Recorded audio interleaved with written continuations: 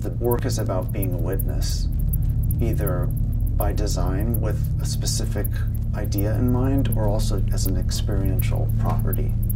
And that the more that you are aware of these things, and for me going out and filming things, is that you become aware of changes, you become aware of differences and things that are in transition.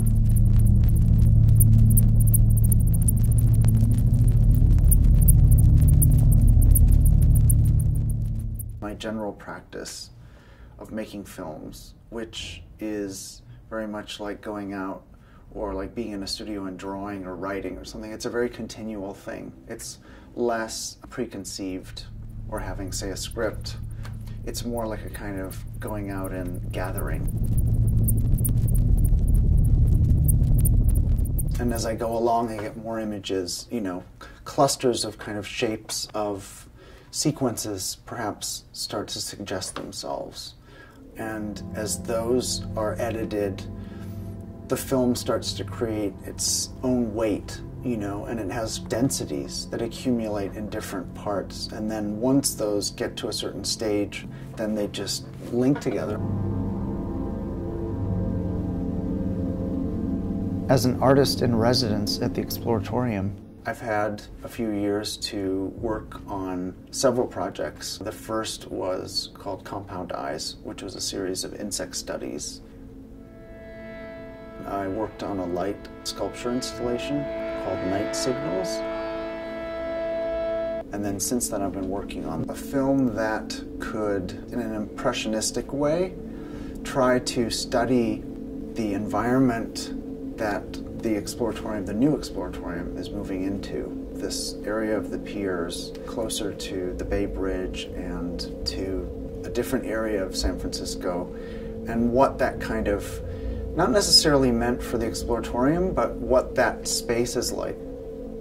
But then also historically, you know, the different kind of streams of time of the use of the bay in terms of industry and whatever its, you know, natural environment is. The way that I enjoy working is starting from zero you know, even every day, and even if you have a, there's a continuum of a thought process and a kind of way you're approaching a specific project, I still try to start with nothing each time. And so I always find a kind of struggle, you know, and part of the learning process is trying to put together ideas on the spot and also perhaps learning to adapt.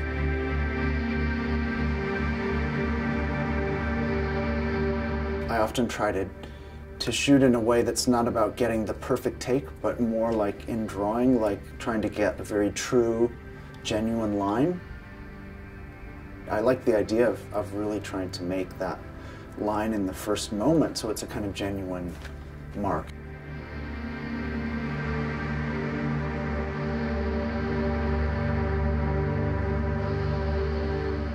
I think I like film because I'm I'm just struck when I see something that's very beautiful, and I'm, I find film very beautiful. When I see a red on film, I just feel startled. It's, you know, it's like an emotional response.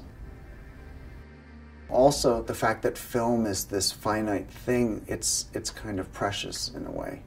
And so it has a fragility, and I find that is, is something that's very much like experiencing things, that things are happening around us and passing us by and temporary.